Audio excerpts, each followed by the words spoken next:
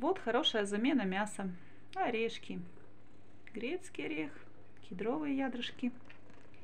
Васюль, скажи мне, это не заменит мясо. Ну-ка, давайте мне. Белок, в общем. Нужен белок. Лучше есть уж орехи. Тоже их не надо переедать. Все в меру. Ну, хорошо, горсточку таких вот орешков каждый день. Их лучше вымачивать в воде предварительно.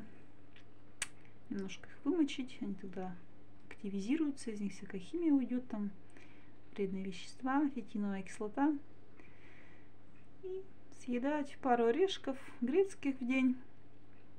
Там бразильских.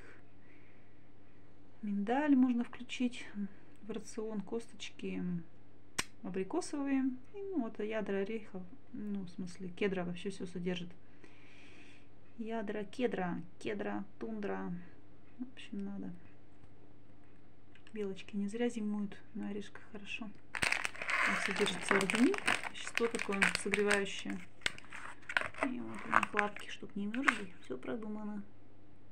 В общем, согревают орешки зимой. Надо про них не забывать.